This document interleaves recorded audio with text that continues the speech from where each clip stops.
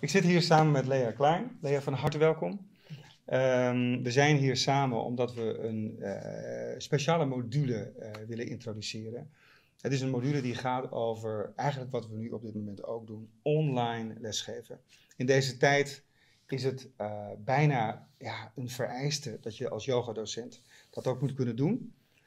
hoewel er in de nieuwe yogaschool verrassend een aantal leraren zijn die dat geweldig doen, hoor ik toch ook heel veel om me heen dat het ingewikkeld is en lastig is. Ik denk voor mezelf ook sprekend dat je vaak zo kritisch kunt zijn op jezelf.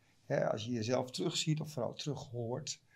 Kun jij vertellen, Lea, in deze module die je geeft, uh, wat maakt het zo anders om voor een camerales te geven dan wanneer je het live doet?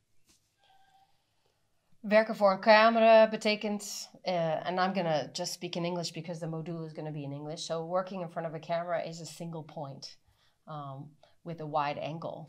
And so in the module, I'm going to explain uh, how that geographically is part of the situation, how what colors you should wear so that how to create an environment that is good for visual cues and uh, clear demonstrations. We will review some points I've covered in other workshops, but for people who haven't taken that over your voice, how you can use your voice, how you set up the microphone sound, um, how you walk around and organize the space. And for people who are dyslexic, um, how to deal with the fact that a camera is actually um, a mirror image instead of uh, directly. And for both audience and teacher, that can be sometimes. Uh, what's the English word? Verwarrend. And mm. so um, these are important things to do. And Geef once, je feedback ook. Yes. Is er feedback op wat mensen laten zien? Yeah, and I would like to give everybody time to actually try out their teaching techniques online. Um, and we as a group will take your class and you'll get feedback from me, a professional feedback from me as well as the students, which is really mostly what it's about. Um, most people are scared before the camera. So um, we're going to take that away and give you some practice time. Yeah, so, uh, and that will also help you be more natural for the camera because to be more natural and authentic, it's also part of your yoga practice. So if you can get there behind the camera, you can get there anywhere actually. Yeah. Maar kun je het leren? Kun je authenticiteit leren voor zo'n beeldschermpje? Yeah, well, I think so. Yeah. To be natural.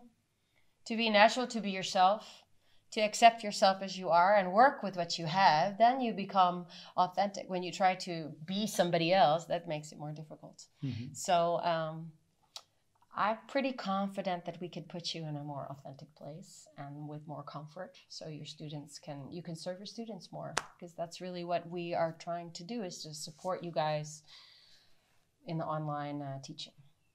Cool. Sounds really beautiful. Op onze website kun je erover teruglezen, de data. We gaan het opknippen in twee delen. Uh, dus daarvan, daarover kun je alles teruglezen op onze site, de tijden enzovoort. Ik denk dat het een ongelooflijk mooie aanvulling is, zeker nu in deze tijd. So thank you, Leah, for offering this. Yes. And I'm really looking forward to it. Thank you. Ja, namaste. Namaste. Tot dan. Dankjewel voor het kijken.